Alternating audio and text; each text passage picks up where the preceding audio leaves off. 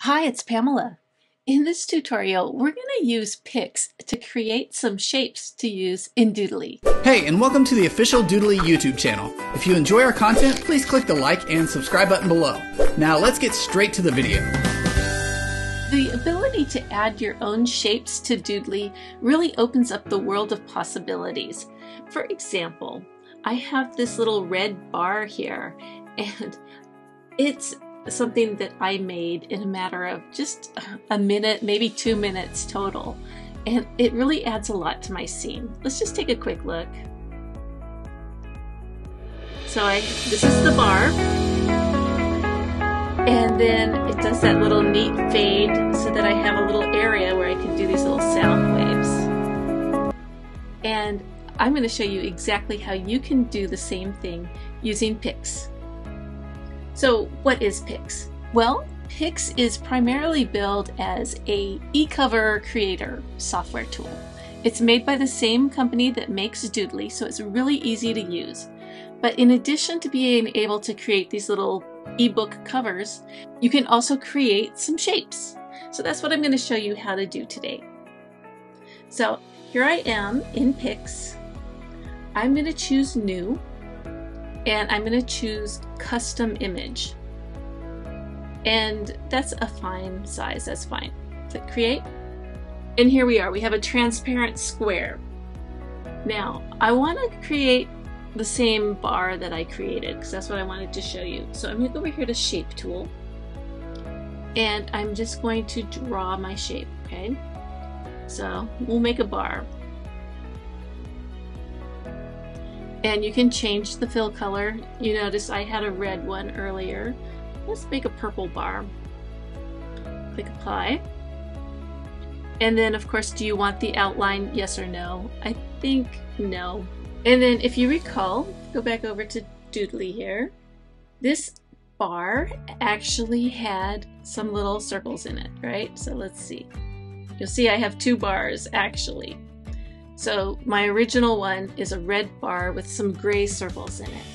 So let's do the same here. So we're still in the shape tool. Let's just go ahead and click the little circle tool and we'll just draw a circle real quick. Now that's not going to show up very nicely because it's the same color. So let's go ahead and change the color. We'll just do yellow and click apply.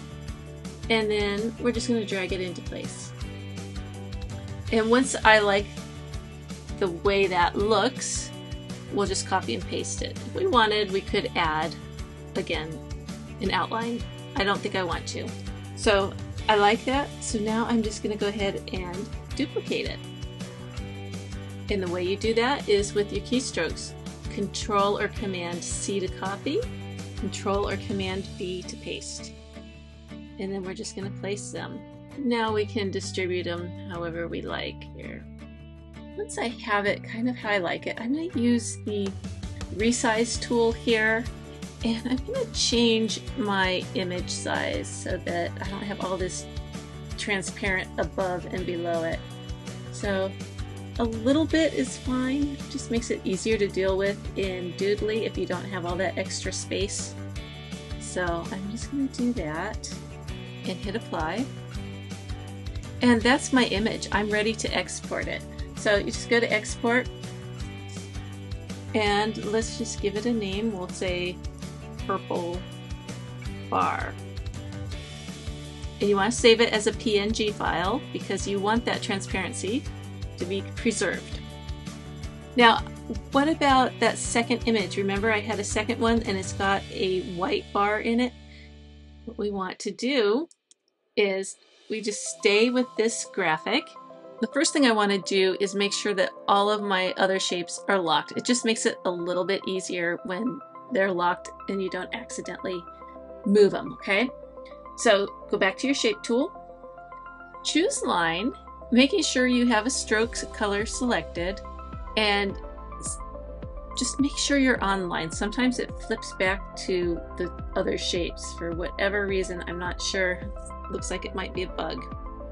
Now, as you do it, try and make it as horizontal as you can. I think that'll be fine. You can use your little arrow keys to fine tune the placement.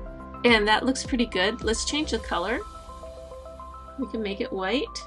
We could make it that same yellow color. We could make it that purple color, which that looks kind of cool as well. Kind of like that one. And then if you want to make the bar fatter, you can do that. To make movements, pick the four-headed arrow, and then that way you won't accidentally select the wrong thing. Make it just a little fatter. And that looks good. And that way we can add whatever we want. If we wanted to add some text in there, or like I had the sound waves, that's what you do. So then go ahead and hit export. Now, these are going to be identical in size because they're from the same design file, okay? So that's why I just continued adding and then I exported it. So if we go into Doodly, we can get rid of our original ones and we can import, go to props, blue plus sign, the ones we just made, purple bar one and two.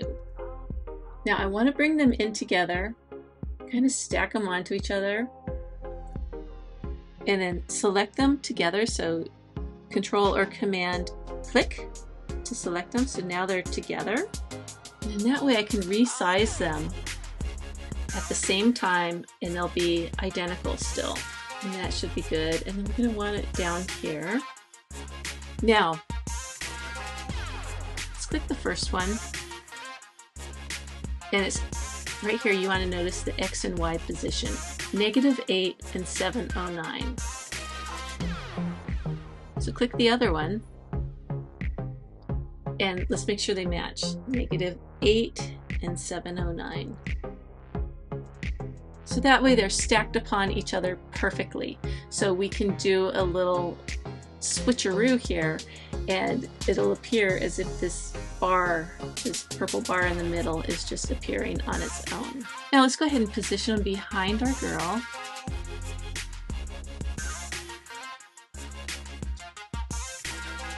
And then of course we want our sound waves to be positioned where they look nice. Maybe something like that.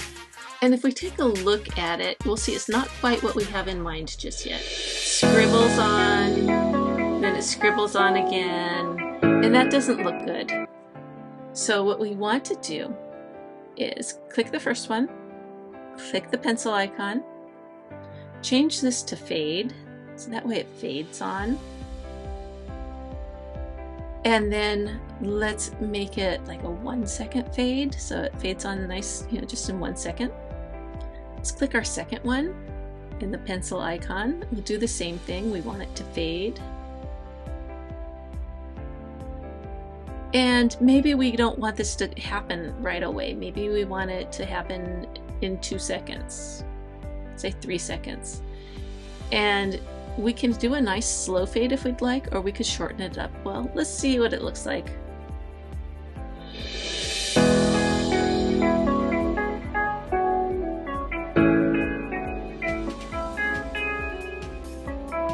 And that looks pretty cool. And that's really all there is to it.